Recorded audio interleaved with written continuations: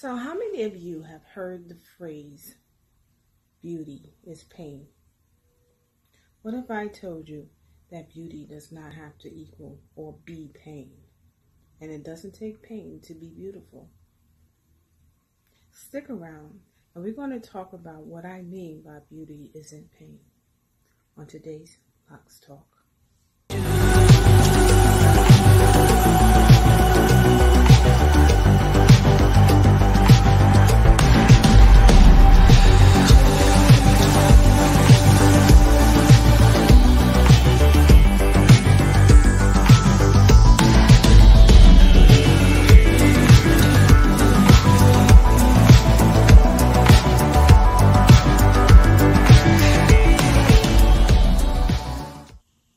Welcome, welcome. Come on in, come on in. Good morning, good afternoon, good evening, whatever time of day it is that you're sitting and you're watching this.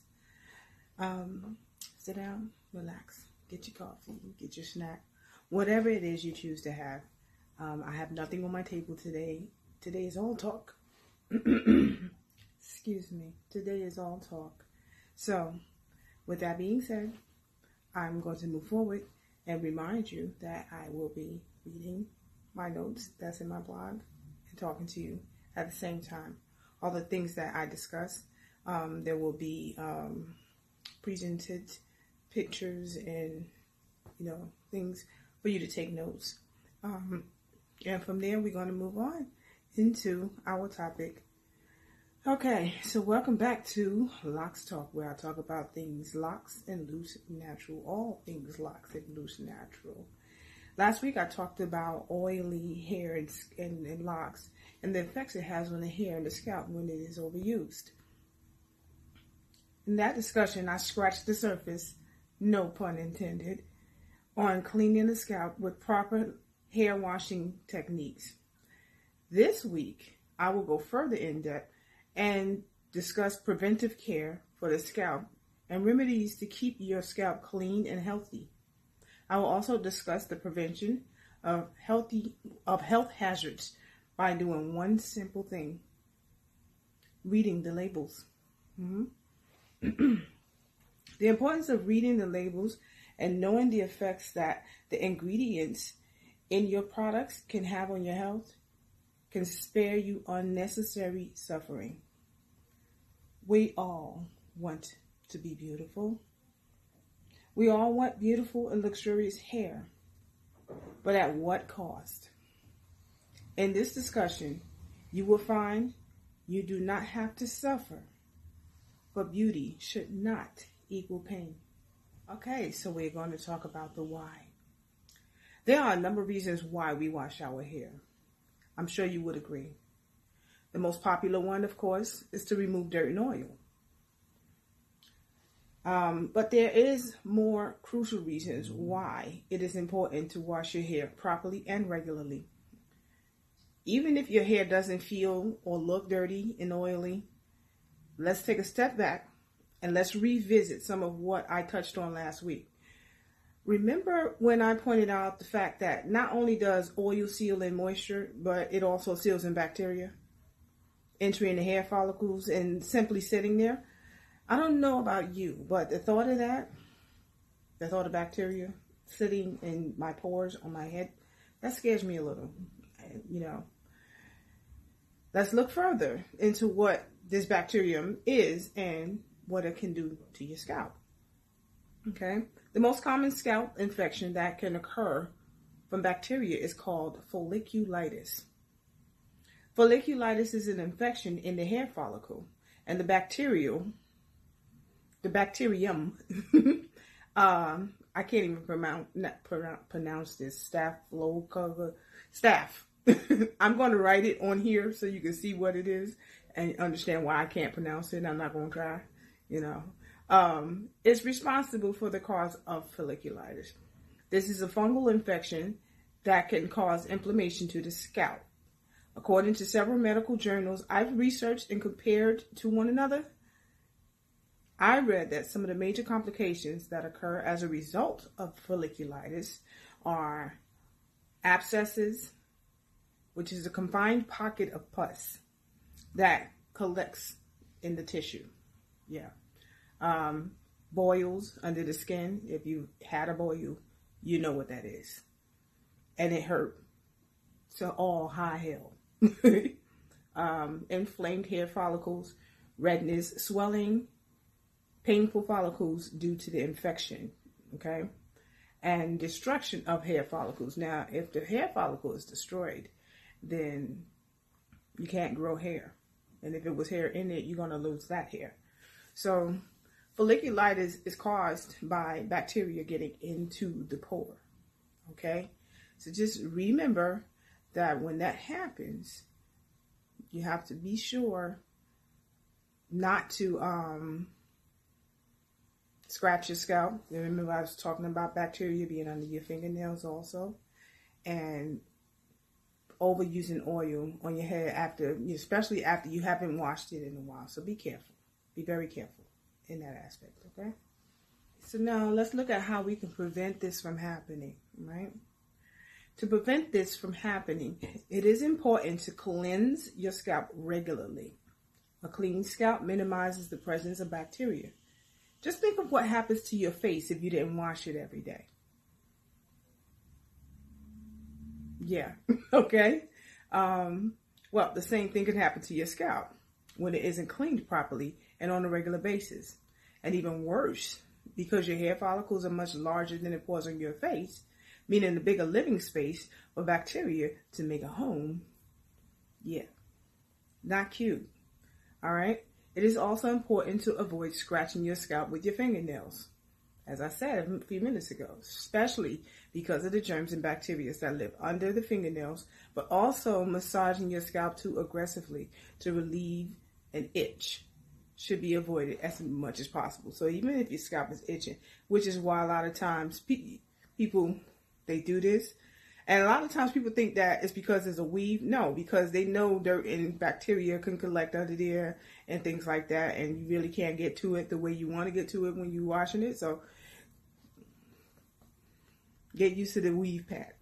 and if you don't want to do that, then we'll get to how you can cleanse your scalp without actually having to always shampoo and wash your hair. Before we get into preventive care and tactics that we can do to prevent it, what if the damage is already done?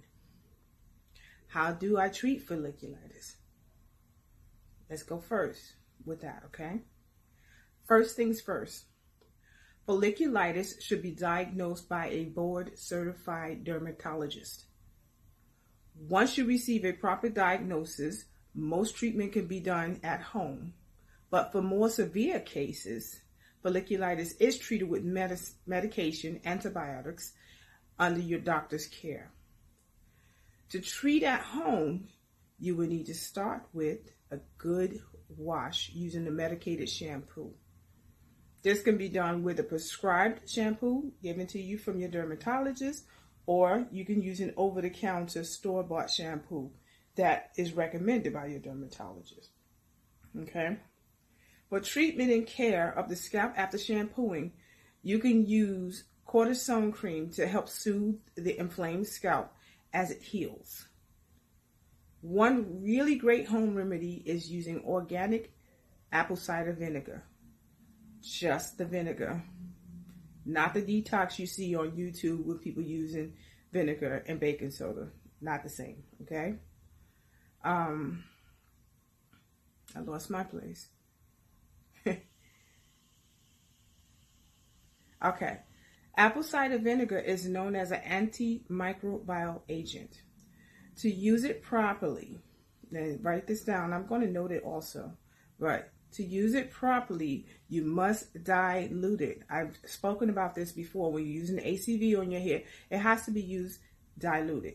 Do not pour ACV directly on your hair, as you have seen done before. I'm sure many of you have. If you're on YouTube watching this, you've seen other videos on YouTube concerning ACV. Don't pour it directly on your hair. It should always be diluted when you're using it, okay?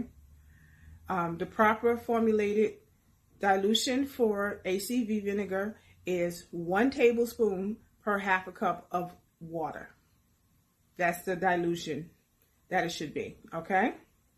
Um, once you do that, you can use a soaked cotton ball or a sterile gauze and soak it and you put it on the infected area where on your scalp for 20 minutes twice a day until the infection is gone. So that helps treat the um, the infection that's on your scalp. Now, getting back to preventive care, home remedies. Home remedies. This is not um, care that is under doctor's care. Doctor's care is based on the instructions that your doctor may give you. These are strictly home remedies. And again, don't self diagnose. Make sure that you get an actual diagnosis from a dermatologist. And if it's a mild case, then you can consider home remedies to heal it. Okay. So preventive care is to prevent it from happening where you won't have to go to a doctor and be diagnosed with folliculitis. It is preventive care to keep bacteria from building up and getting in your scalp to begin with. Okay. As a preventive step to avoid folliculitis, I wash my hair with Peculiar Roots ACV shampoo. Um, I have shown this time I'm going to put a picture of it up. um, I always use ACV shampoo for one of my washes, which is usually the first one, for that very purpose. Okay. ACV is a great agent for cleaning the hair in addition to treating the scalp. Diluted, not straight from the bottle. Okay. Um, some of the great benefits of cleansing your hair with ACV is it helps prevent product buildup, because it acts as a clarifying agent and it helps to balance the pH levels of your hair and it reduces frizziness and it keeps the hair soft. Yeah, believe it or not, it does. Um, so keeping the stock supply of my Peculiar Roots ACV shampoo is highly recommended because, well, it's not my shampoo, but I'm saying I keep a stock of uh, a good stock of ACV shampoo in my supply is what I meant to say. Um, for that purpose because I don't want to use actual organic ACV on my hair. It has, you know, vinegar doesn't have a great smell, but the benefits of it is fantastic. And I love that I can have those benefits with my ACV shampoo, but because it's um, apple extract scent. So it smells like fresh, crisp apples instead of apple cider vinegar, you know. So that's a, that's, that's a plus, and that's why I prefer to use that rather than now if I had an infection, I would definitely use the vinegar. I don't care how funky it smells. I need to, you know, get get it together up there. So yeah. Okay. Now coming back to another preventive care. Um, we talked about this last week, and I'm going to talk more about it again this week. Is tea tree oil. Tea tree oil is also a great preventive agent to help avoid folliculitis. It also aids in the treatment in folliculitis as well. So it's a preventive care. It's a double agent. It prevents and can be used to help treat folliculitis. Okay. Before I go further with this, let me remind you. Okay. Knowing the benefits of tea tree oil, people tend to go out and buy some and then they skip over the proper use of it and they use it directly on their hair. That's a big mistake okay? Follow the instructions properly, all right? With that being said, please read the next part carefully. Now, this is what my blog says, but please listen carefully for you, okay? first things first, tea tree oil is a very highly concentrated essential oil. It's one of many, okay? And, excuse me, it should not be applied directly to the skin for that purpose. For every one to two drops of tea tree oil, it should be diluted with 12 drops of a carrier oil, such as coconut oil, olive oil, or other plant based oils. Okay? Um, do not let it get into your eye. All right? Now, to use for folliculitis preventive care and treatment, apply the oil mixture to your scalp and allow it to stay for 20 minutes. Then using a shampoo that contains no more than 5% tea tree oil, wash out the oil mixture. Do this for at least two wash cycles. Then you can follow it with a conditioner, a, a tea tree conditioner. Also, make sure that you read the label and it says it has no more than 5% tea tree oil in it. Otherwise, it's too highly concentrated. This is a great holistic way to treat mild folliculitis, not severe. Okay? If you have severe, you're definitely going to need to use medicated shampoo to treat it. But if you have a mild case of folliculitis, then you can use tea tree oil, um, tea tree oil shampoo, tea tree oil conditioner to treat it, and it will get better. Okay? Now, we're going to move on. Okay, moving along. Let's talk about sweat. Let's talk about sweat, baby. No, I'm kidding. All right. Another way for bacteria to get into the hair follicles. It, if you work out on a regular basis and you sweat a lot, then this segment right here is for you. The moisture from perspiration can cause bacteria growth. Sweat can dry on your scalp and can potentially clog your hair follicles as it can mix with bacteria and irritate or damage your scalp. That's one of the causes for your hair suddenly itching like crazy after a workout. For the love of God, whatever you do, don't scratch. Okay? Your scalp if this happens. The importance of cleaning your scalp after a workout is crucial to the health of your scalp. It is obvious that whether you have locks or loose natural hair, you aren't going to be washing your hair after you work out every single time. I get it. Okay? So, how do you clean your scalp without shampooing every day? I'll tell you how. First, avoid letting the sweat dry by letting before getting to it. And that con- because that contradicts what I just said about the sweat drying and joining with the bacteria and going down and making yeah. Okay? so that make sure we get to it before that happens. All right? The magic happens with witch hazel. Witch hazel. Good old fashioned witch hazel. Okay? It cleanses oil producing pores and relieves itching. If you sweat every day on your scalp, here's the great news. Witch hazel is gentle enough to get to every day, and a little bit goes a long way. You just need a clean terry white cloth, cotton balls. I like to use Q-tips, okay, and then apply it. Or you can even put it in a spritz bottle, but make sure that the spritz bottle is spraying a mist. Very similar to how you see the refresher spray bottles when you see me mist my hair. Okay? But never a stream. You don't want to put a stream because you, you don't need all it dripping down your face and things like that. Okay? And you're probably thinking, well, what about the odor that can get in my locks or my hair from sweating? I'm glad you asked.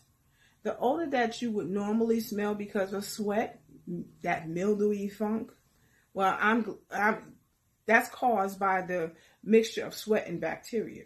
This is why cleaning your scalp directly with the witch hazel before the sweat dries is necessary. It kills the bacteria. Kill the bacteria, kill the smell. Okay? And you'll likely not experience that stench. Now, if it happens to be a person, if you happen to be a person that just hates the smell of sweat, well, my solution to that is I highly recommend the Peculiar Roots Rose Water based refresher spray. Now, the refresher spray will not only help tend to your scalp and the itchiness and things like that, but it also will provide a very fresh and lovely fragrance to your hair, and not um not something that's that's um synthetic or anything like fresh fragrance of real items like roses and extracts from roses and pineapple extract and cucumber melon scent. And then you got the Caribbean vibes. It has a, this coconutty, like island adventure scent, crisp apple, um, cherry blossoms. So you're going to have really nice natural scents, but they smell amazing. And with, you know, your worry of smelling like funky mildew will be gone. But if you do have an allergy to uh, rose water. The um, other refresher spray that was um, recently introduced was the aloe refresher spray, which I actually recommend even more than the rose water based refresher spray because it has aloe in it and it also witch hazel is one of the ingredients in it. So you're going to kill two birds with one stone. You're going to treat your scalp with the witch hazel that's going to kill the bacteria and and soothe the itch, and the aloe is also going to really soothe your scalp and just make it feel. And the smell is absolutely amazing. It smells like you just freshly got out of the shower. So that's how I would do that and go from there. So yeah, that's how we do get rid of the sweat and stuff like that. So just keep that in mind. If you sweat, tend to it before it dries. Okay. Yeah. That's why when I work out, I don't like to cover my head. I'll put something to cup, you know, pull my hair back out of my face, but I don't like to cover my head because I don't want there to be a sweat steam bath going on under scarf or hat and stuff for my head. Now that we have fully covered how to properly cleanse the scalp and hair, let's step into reading labels and the ingredients you should try to avoid if you see them listed. Okay? Note, in next week's vlog, we are going to dive really deep into these ingredients and why they should be avoided. Um, just that quick, I lost my spot. Oh, but this week I will scratch the surface. Again, no pun intended. Uh, there are a number of ingredients and products you should avoid using if you are considering the health of your hair as well as your overall physical health. So this is why I'm talking about these ingredients, okay? Let me scroll down. As you have seen in my blogs and throughout many areas of my website, I consistently recommend Peculiar Roots products. And I'm going to tell you why. There is an array of reasons why I recommend this product, but at the very top of my list of why is what's on the label the ingredients.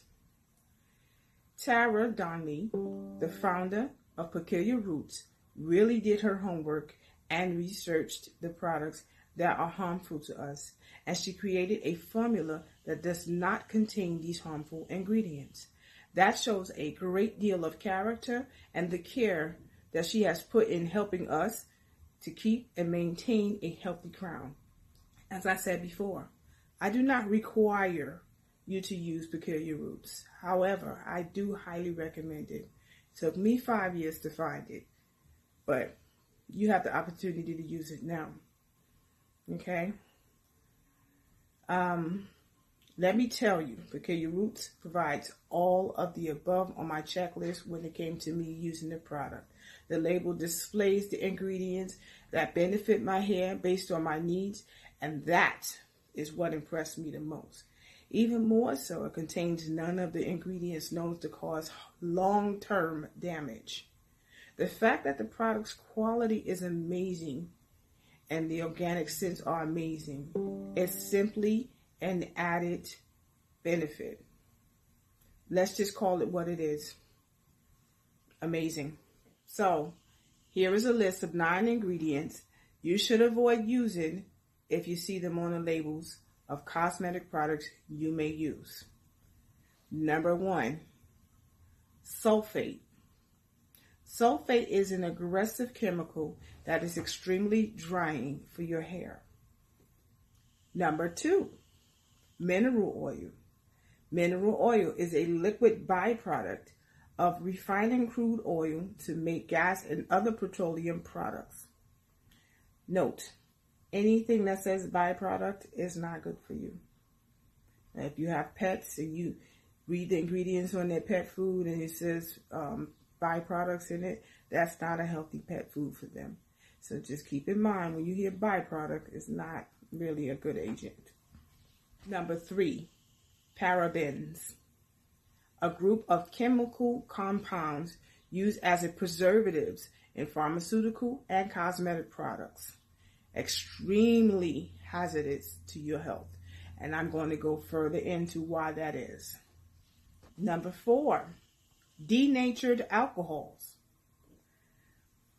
It speaks for itself anything that's alcohol, like like I like rubbing alcohol when you see when you rub it on and it turns white. Anything with like alcohol that strong in it it's very bad for your hair. It could dry out your hair. It's not good for you. Again, all of these things that I'm listing, I'm to go, I'm to take a deep nose dive into and explain why these are some of the top worst ingredients that could be in the products that you're using for your hair. And any of your cosmetics, including stuff that you use on your skin for kids skincare as well. Okay, now number five is more for people who suffer from high, you know, allergies and stuff like that.